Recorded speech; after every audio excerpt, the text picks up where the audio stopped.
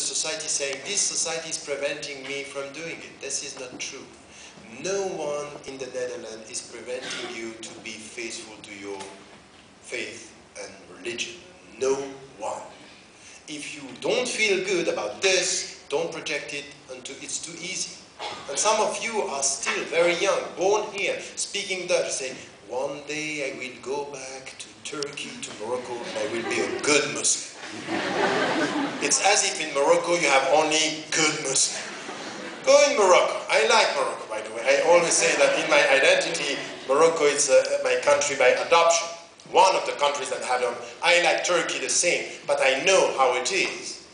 I was myself thinking that one day I would go back in Egypt. I went there, and I was idealizing Egypt. I was idealizing. Uh, you have good people and bad people, and sometimes it's very distressing because you see people, you think, oh, you're a Muslim like me, but he can cheat at you, he can. He can. Yes, he can. so, so the point here is really to be very, very realistic here. And you decide for yourself here, it's a commitment with religion, the fact that, you know, there are the five pillars, the five prayers per day, the uh, uh, uh, uh, fasting. This is up to you. You decide for this.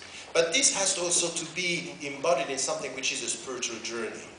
Be careful not to understand this only as forms and conditions. Not to forget that at the end of the day, all these are pillars. You know, the, the prophetic tradition is clear on this. Buniyal Islam ala khamsin the, the, the, Islam is, is built on five pillars, but these are the pillars. The perfume, the atmosphere is coming from where? From your heart. The way you deal with people, you are polite, you serve the people.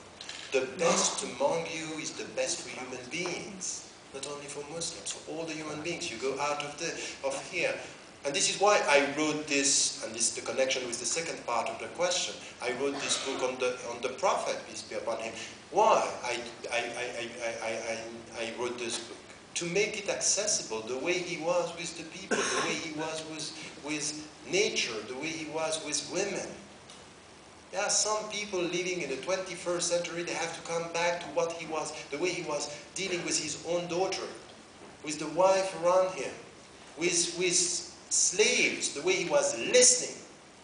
You have some people here in, in this room maybe, when they have their daughter, you know, maybe young, or their sisters, they don't listen.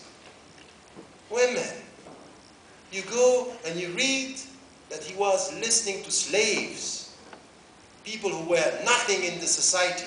And you, when you were a slave woman at that time in the Arab tribes, it meant nothing. You are nothing. He was listening because he was respected. So this is where we understand that practicing your religion is not only a formal thing. Is your heart, is to serve, is to give. It's, it's a way of living this. And no one in the Netherlands is preventing you from doing this, except your own lack of discipline. Personal discipline with your own self. Okay, of course, thank you. Of course, of course, that, of course. Of course, there's one more question.